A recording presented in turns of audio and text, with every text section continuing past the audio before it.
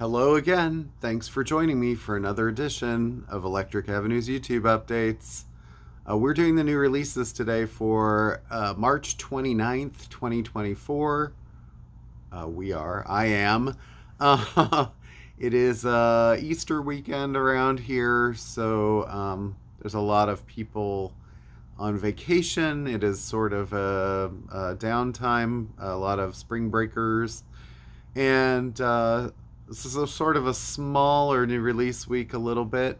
Um, next week is a huge week and uh, we're getting sort of geared up for Record Store Day uh, on April 20th.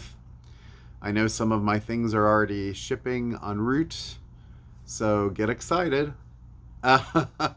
set your alarm clocks for uh, super early on the 20th.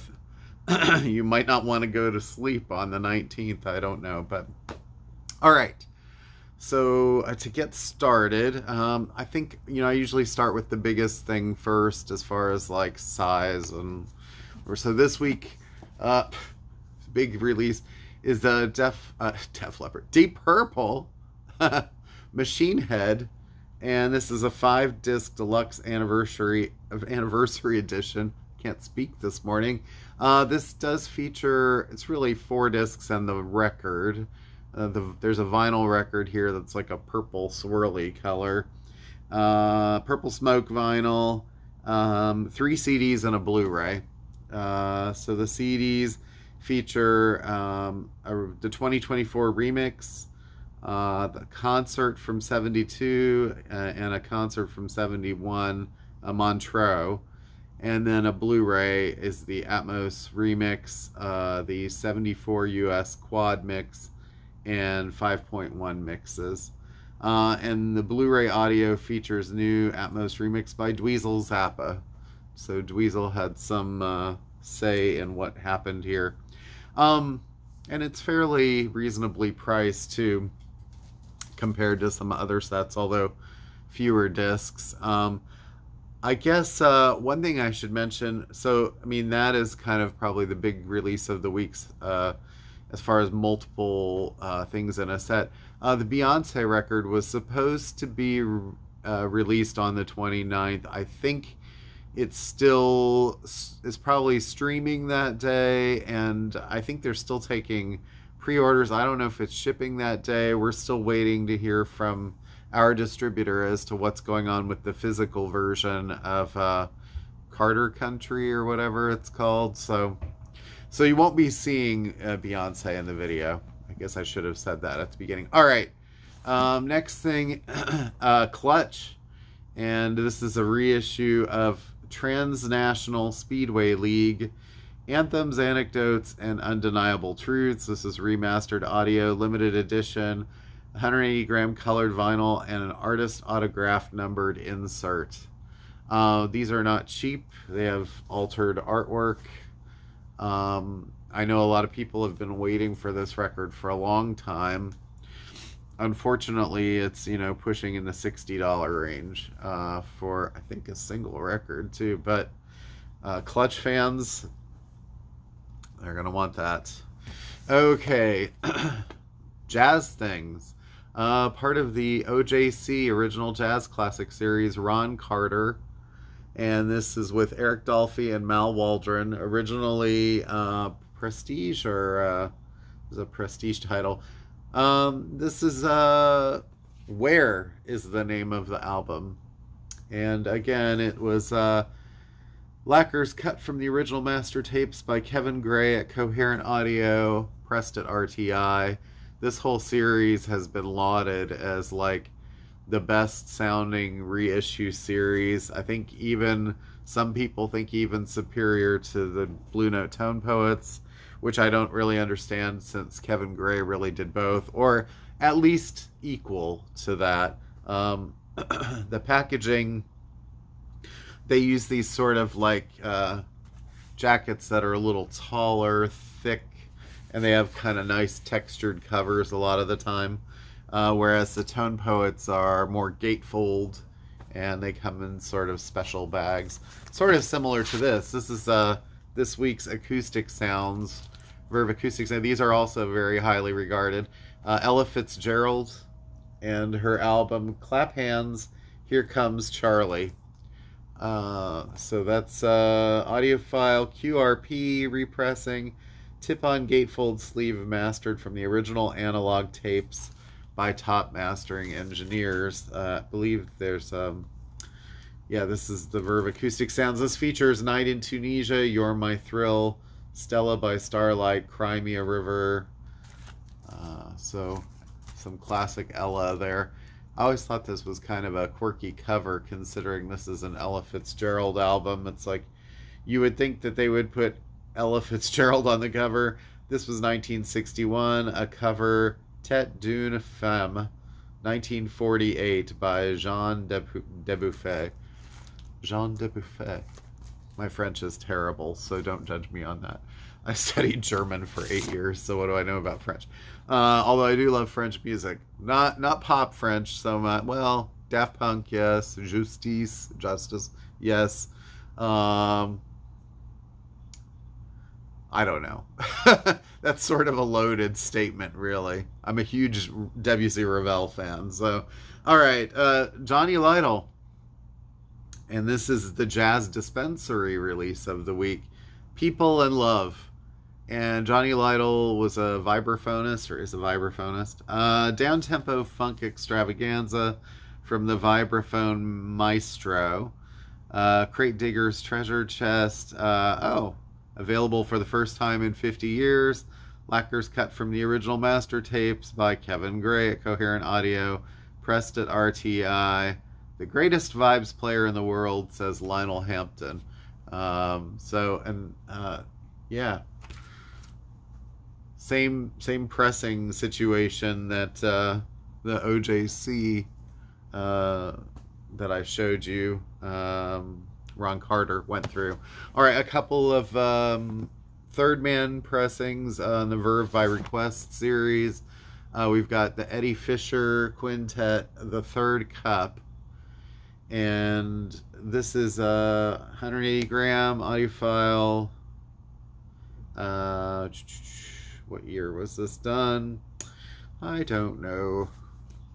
Looks like maybe late 60s, eh, early, yeah, probably late 60s, possibly early 70s. But um, originally on Cadet, I think this record is not. It's not terribly hard to find, but I think it it's not easy. Uh, 1969. So there's that. Uh, if you like jazz guitar, this is kind of interesting. Uh, Tony Scott on clarinet, music for Zen meditation. Uh, features Koto also and shakuhachi. So if you want to get super zen and chill out and go kind of Tibetan and uh, have very like haunting sort of quiet calming experience, this might be for you. This one is actually gatefold uh, whereas the Eddie Fisher was not. Uh, new records. We got to have something new, right? New Ride album this week. Uh, British shoegaze band, limited double vinyl, Interplay. Includes the album down, download. Uh, track listing there. Uh, they have a song called Portland Rocks. I'm assuming that it's more about the rocks in Portland and not that Portland rocks, but maybe I don't know. Uh, Ride, uh, you know, their album Nowhere was such a breakthrough in the 90s in the sort of shoegaze sound. If you're into Slowdive and um, even Stereolab and people like that, you might want to check that out.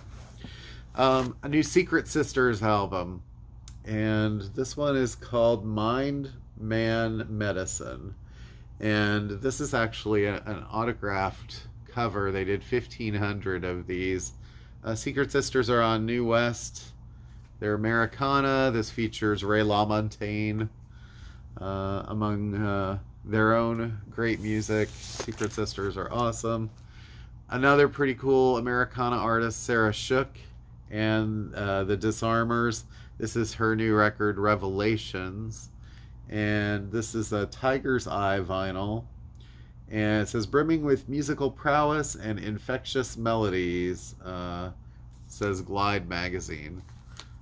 We've had a lot of really great uh, singer-songwriters release records in the last couple of weeks. Uh, the new albums from Waxahatchee, uh, Katie Crutchfield, and uh, what's the other one? Oh, Adrianne Lenker. Those are both really, really great albums.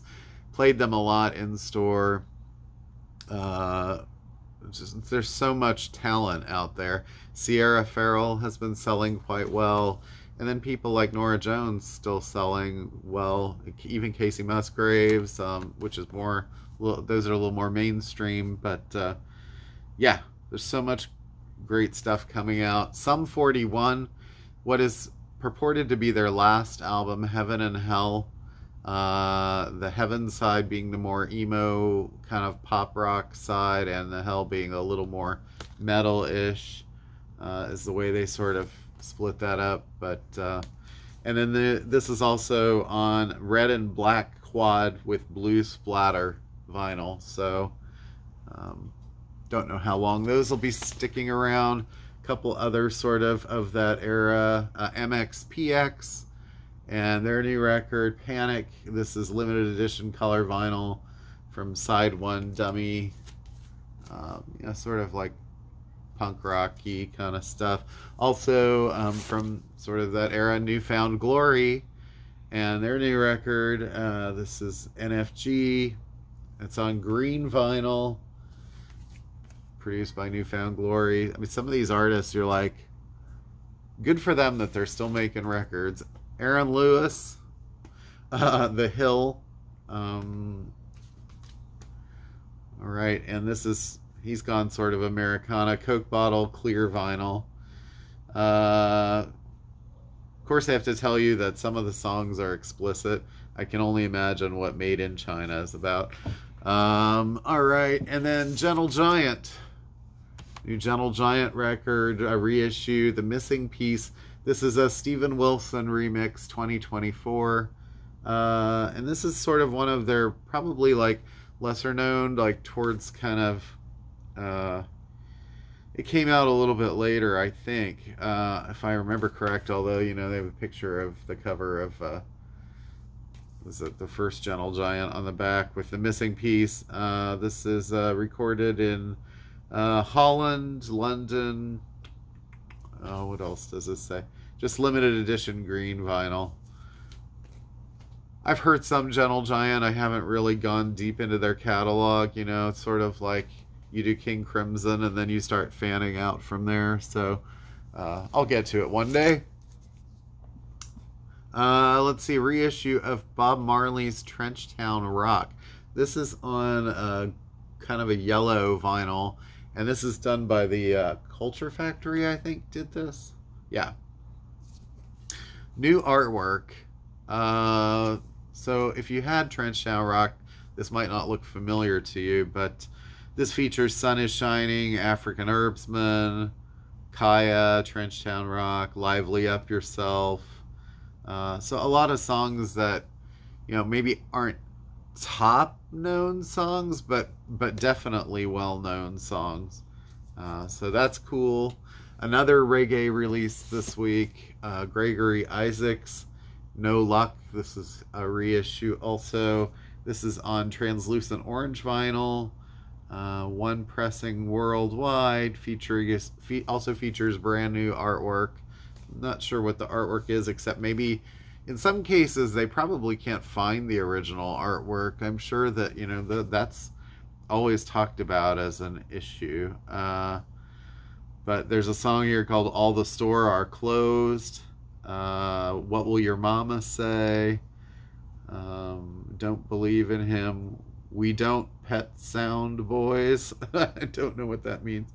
Uh, but this is uh, what 19 uh, 2000 uh, this came out in 2001 it looks like so it's a kind of a later gregory isaacs album but it was on charly records uh, or at least that's where it's been licensed from uh, and just to mention a couple of things that i didn't have when they came out originally, and I want to sort of highlight them. Kim Gordon's new album, The Collective. So if you're a Sonic Youth fan, you should probably check this out. This is very cool. It's sort of like electronic trap, like grunge sort of punk record with a 70 year old woman kind of kind of just sort of like I wouldn't call it rapping, sort of like giving sort of uh, observational talking sort of stuff. Uh, so if you like Sonic Youth, look that up. Faye Webster, this came out uh, came in a little bit late too. Underdressed at the Symphony, this is her new record. Uh, she's done a bunch of stuff for uh, abortion rights recently, and uh, yeah, might want to check that out. And then a couple of reissues. Actually, there were three, but I think I've already sold one. Uh, but from um, Wax Trax, uh, there's My Life with the Thrill Kill Cult. I see good spirits, I see bad spirits, and Sexplosion, which features uh, sex on wheels, sex on wheels. Um, these records are kind of harder to find. Um, yeah, uh, let's see. This one also has uh, the International Sins set. They were they were kind of are kind of or were kind of a fun uh, alternative electro rock band, uh, kind of in that sort of ministry school of, but more campy than that probably. All right, um, fun. And then one other release, uh, new Bananarama Glorious. This is kind of a a new greatest hits set, although it's really more of a collection of some of the more recent hits that they've had uh, since 2000. And then there's a few older ones. There's a bigger CD version of this. I think it's like two discs, two discs, maybe 40 tracks, something like that. There might even be a larger one than that, but this one features their two new singles, uh, Supernova and Feel the Love which are actually both pretty great. Uh, the only really old songs on here, it starts with, um, you look this up online, but Cruel Summer, uh, 3 a.m. mix, Robert De Niro's Waiting, Venus, The Boys Noize rework edit, uh, Love in the First Degree, and Preacher Man, Moving On. Uh, those are sort of like from the first era, and then the remaining 10 tracks are all from more recent albums. So, uh, you know, it's got a couple of songs from uh, Masquerade, which came out just a couple years ago. So it's a little bit of like a, a greatest hits, tying up some loose ends. Uh, I think the the CD version, there's like a deluxe vinyl version of that. I think that's like really expensive and has most of the tracks, like their Christmas song. Uh, and then some CDs here too. A new High Llamas uh, CD. I think this is also available on vinyl. Hey Panda is the name of it. Uh, High Llamas, Sean O'Hagan and company. Um, kind of great, sort of dreamy, quirky indie pop. Uh, Chicano Batman, their new CD, Notebook Fantasy.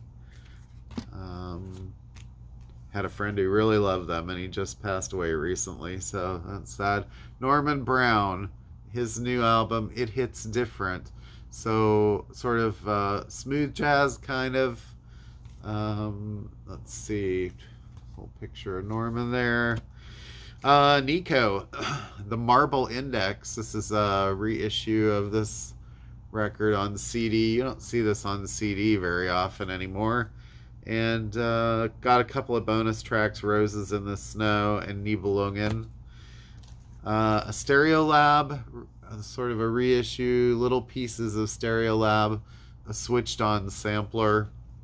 Uh, so this has songs from a lot of different things and Type O Negative uh, their new cd reissue of bloody kisses the 30th anniversary including eight bonus tracks. Well, if that doesn't make some people feel old for me to say, Type O Negative is 30 years old.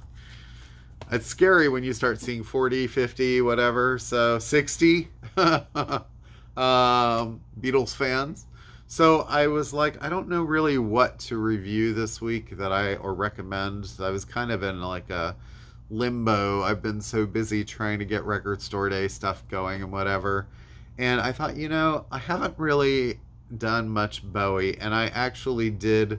I think I've done one maybe so I thought, well, I'm going to recommend a classic Bowie.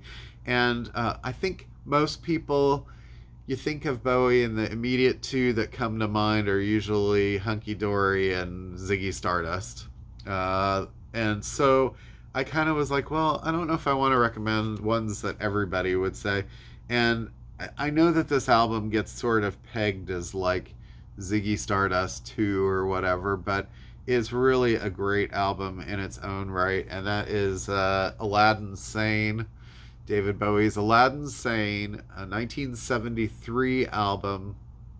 Apparently, at the time uh, when this cover shot was taken, it was the most expensive photo uh, album cover ever made because it went through some sort of color process where they had to use like seven different treatments or something. So, uh, but it has the iconic sort of lightning bolt picture on his face. Uh, he was about 25 years old when this was made. I think people kind of forget how young he was at this time, uh, and he'd already had like the two albums, and then uh, well, really three because he had the two I mentioned, "Man Who Sold the World," then Space Oddity before that, which actually was a hit, had a hit song on it, and then before that he was doing kind of like uh, more like British kind of humorous type music, and uh, so he really got an early start. And so when we say, "Oh, he passed away," uh, gosh, it's been seven, eight years now, seven years. Uh, and he was what 69 at the time. I mean, he's really had a very extensive career. Uh, this is the Parlophone reissue that came out uh, a few years ago.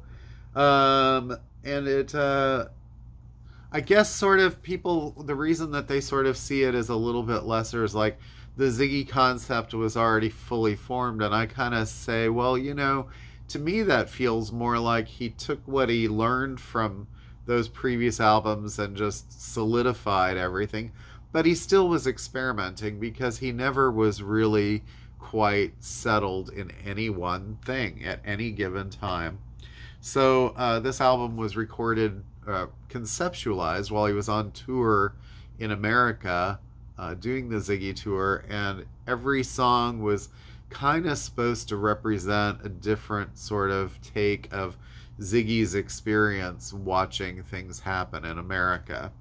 So, uh, Watch That Man, the first song, was supposedly kind of a New York type song, and also inspired by the New York Dolls, who he'd recently seen uh, performing. And uh, the second song, Aladdin Sane, was a little bit more like uh, you're getting kind of a, a, New Orleans type feel or Southern vibe. They're Drive In Saturday was sort of uh, a song again, um, like um,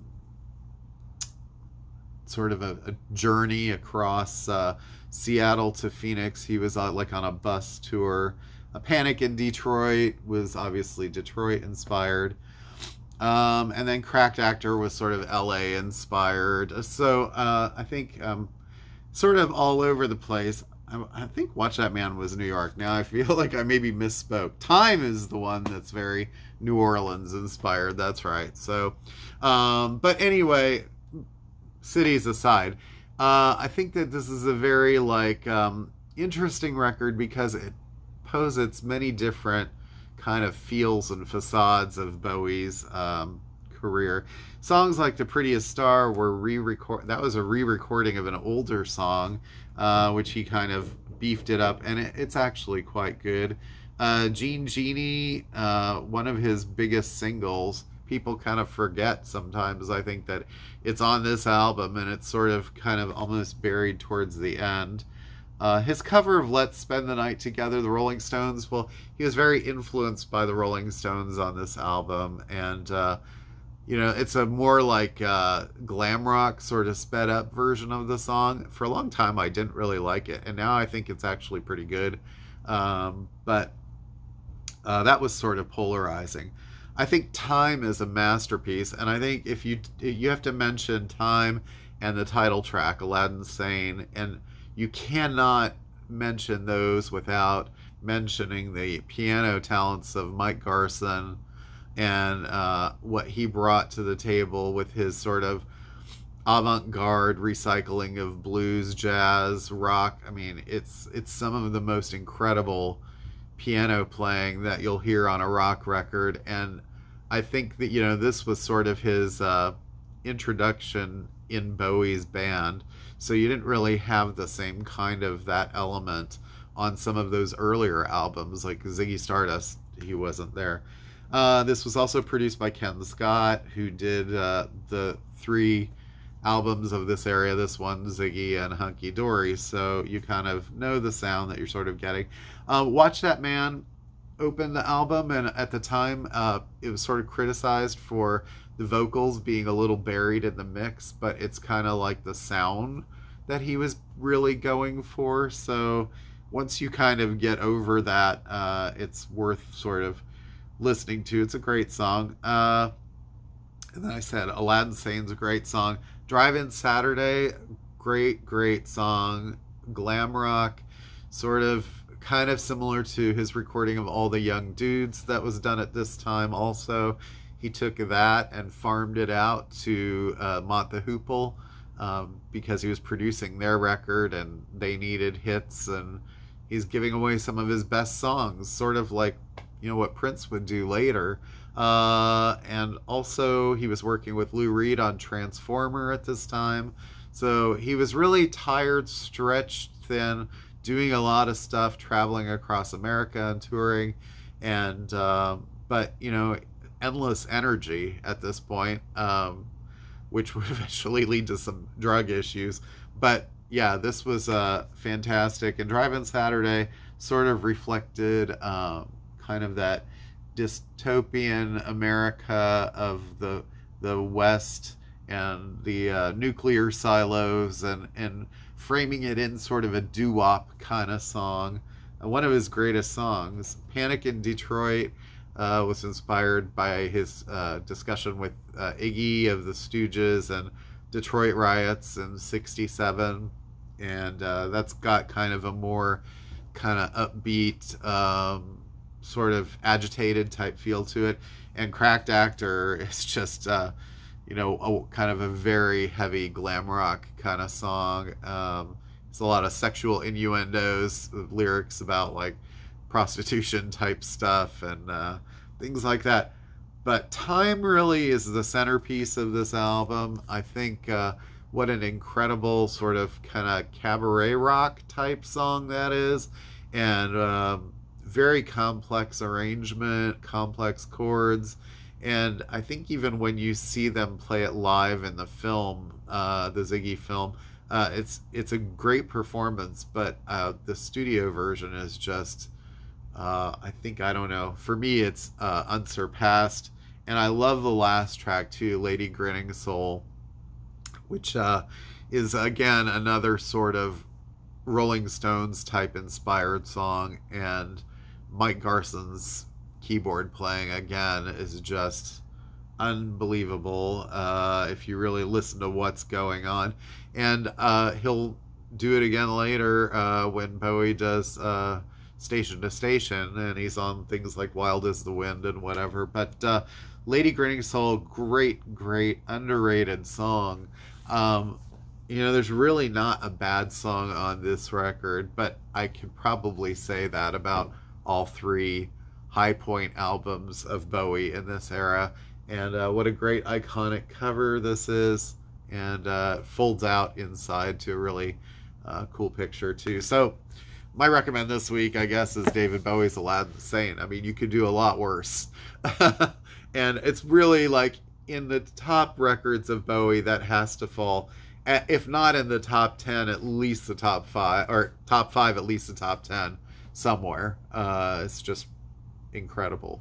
So, and very inspirational. I think uh, it was sort of a breakthrough album for him, uh, especially in uh, the US. Uh, and it kind of, because it brought in a lot of the sounds of the US. And uh, in England, those two singles, uh, Drive In Saturday and um, Jean Genie, were both top five hits.